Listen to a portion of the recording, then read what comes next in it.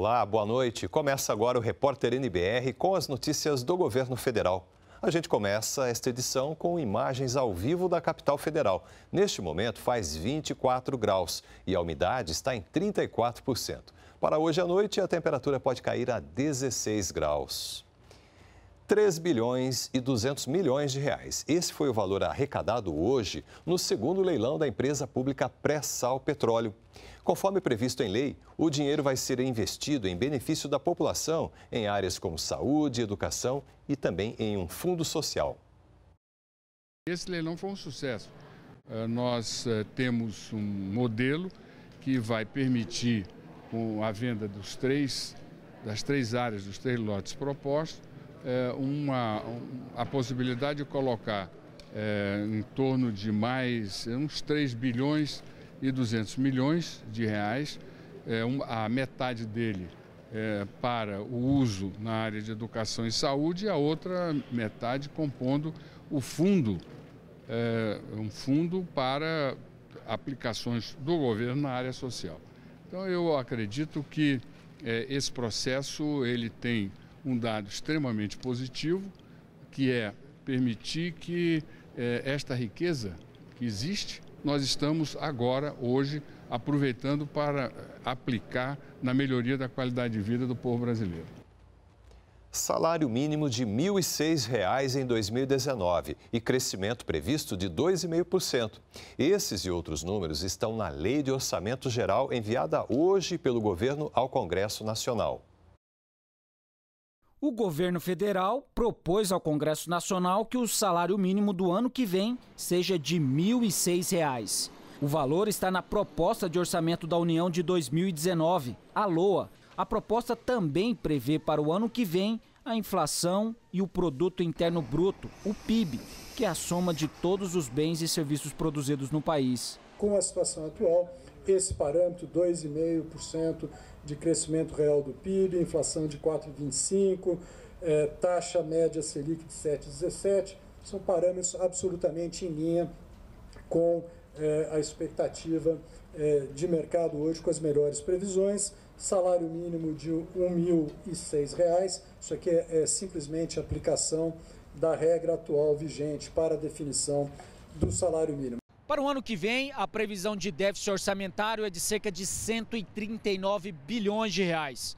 Só a Previdência Social terá um custo de 44% do valor total do orçamento, que é de cerca de 1 trilhão de reais.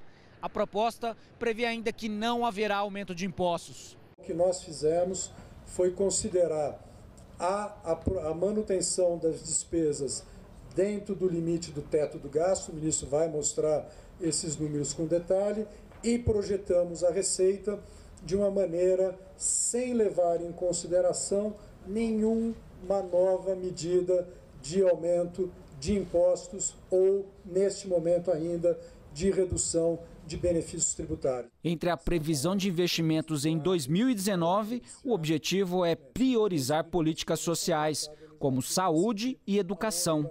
Ano que vem, será destinado 122 bilhões de reais para o Ministério da Educação e quase 130 bilhões para o da saúde. Houve um crescimento robusto no desenvolvimento social, um crescimento robusto em educação e um crescimento em saúde. Ou seja, houve uma priorização por parte do governo às políticas sociais e ao investimento. O teto é totalmente consistente com o bom funcionamento da máquina no próximo ano. E mais um ponto, o ministro colocou, mas eu queria enfatizar também, como ele demonstrou, o crescimento da despesa com saúde e educação. Eu digo isso porque eu tenho escutado com frequência que o teto dos gastos congela gasto com saúde e educação. Isto não é verdade.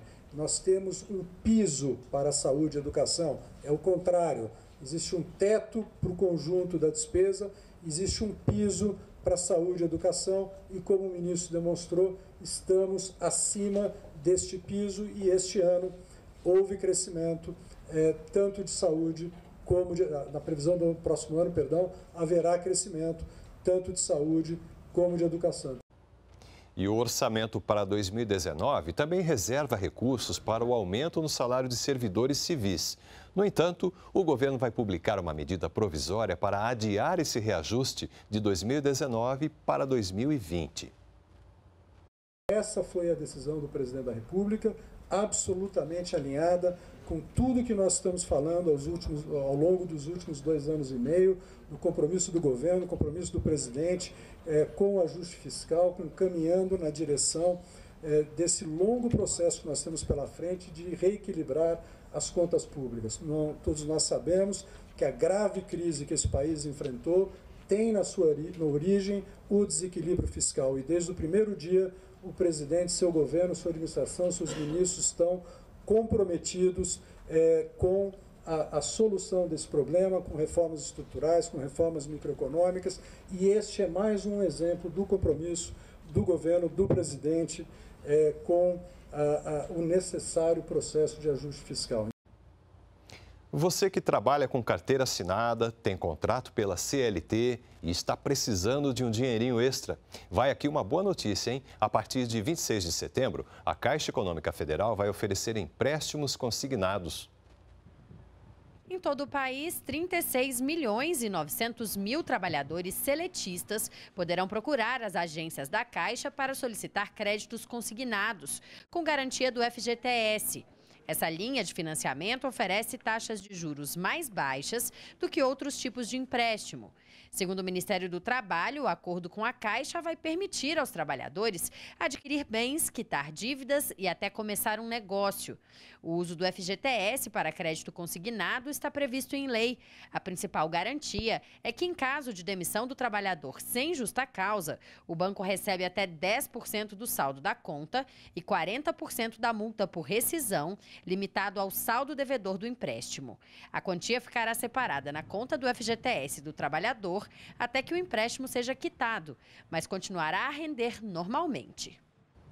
Ontem foi realizada mais uma etapa do sexto processo de interiorização dos venezuelanos. Parte do grupo, com 91 pessoas, foi levado para o Rio de Janeiro.